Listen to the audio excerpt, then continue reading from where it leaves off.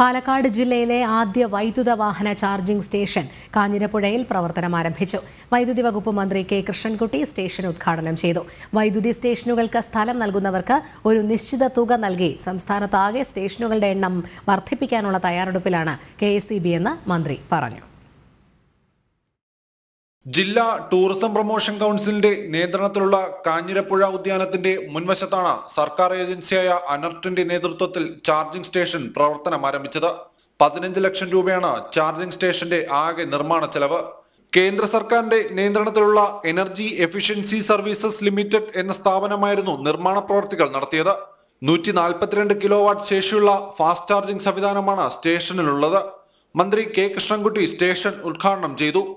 നാല് വാഹനങ്ങൾ ഒരേ സമയം ചാർജ് ചെയ്യാനുള്ള നാല് ചാർജിംഗ് പോയിന്റുകളാണ് സ്റ്റേഷനിൽ സജ്ജീകരിച്ചിട്ടുള്ളത്.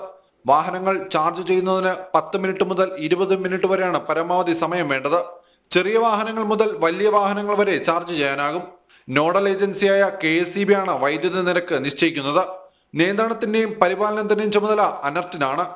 ജനം പാലക്കാട്.